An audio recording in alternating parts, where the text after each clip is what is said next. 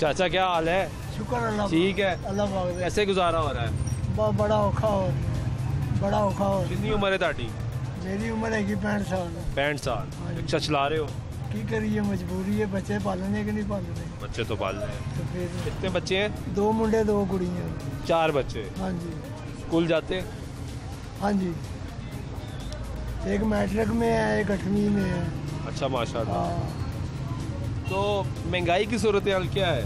महँगाई की बहुत सूरत हाल ख़राब है। एक चीज़ ख़त्म होती है दूसरी आ जाती दूसरी है।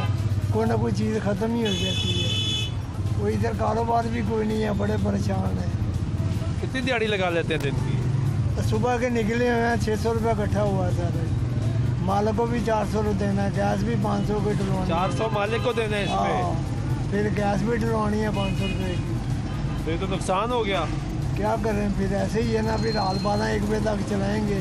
फिर को पाँच छः सौ रुपये सुबह कितने बजे शुरू करते हैं? सुबह दस बजे शुरू करते हैं। रात बारह बजे तक हाँ। चलाते हैं पैंसठ साल उम्र है हाँ जी। बिजली का बिल कितना आया आपका?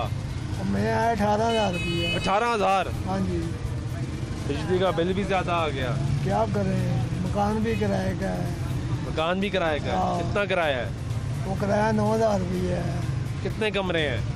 दो कमरे हैं। दो कमरे। हाँ जी। अठारह हज़ार बिल आ हाँ गया जी। तो क्या चलाते क्या है जितना बिल आया? बस वो टैक्स टूक्स पा के उन्होंने बिल बहा दिया। बिल सारा 200 यूनिट 201 यूनिट चला था सारे। दो सौ एक। हाँ तो पता नहीं क्या क्या पाया उन्होंने।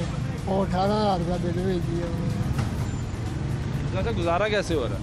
बड़ा औखा हो रहा है। अल्लाह पाक ही है बस करता पे तो उसी की जात है जिसने गुजारा कराना है। हाँ बस कोई भैन भरा थोड़ी जी मदद कर देंगे तो ये सियासी जमातें क्या करती हैं नारे तो गरीब के लगाते हैं सारे ਸਿਆਸੀ ਜਮਾਤਾਂ ਨੂੰ ਤਾਂ ਬਾਜੀ ਅੱਲਾ ਲਵੇ ਕਿਸੇ ਪਾਸੇ ਇਹਨਾਂ ਨੂੰ ਆਵੇ ਕਿਸੇ ਦੀ ਆਈ ਇਹ ਲੈ ਕੇ ਬਹਿ ਗਏ ਨੇ ਅੱਜ ਉਹਨਾਂ ਦੀ ਘੁੰਮਤ ਫਿਰਨ ਇਹ ਕਾਰੋਬਾਰ ਹੀ ਠੱਪ ਹੋ ਗਿਆ ਨਹੀਂ ਤੇ ਫੇਰ ਵੀ ਕੋਈ 7-800 ਹਜ਼ਾਰ ਰੁਪਇਆ ਲਾਈਦਾ ਸੀ ਹੁਣ ਤੇ ਬਿਲਕੁਲ ਹੀ ਨਾ 400 500 600 400 500 600 ਬੜਾ ਔਖਾ ਲੱਗ ਜੀ ये हालात हो गए ਆ ਬਹੁਤ ਹਾਲਾਤ ਖਰਾਬ ਹੋ ਗਏ ठीक है जी बहुत शुक्रिया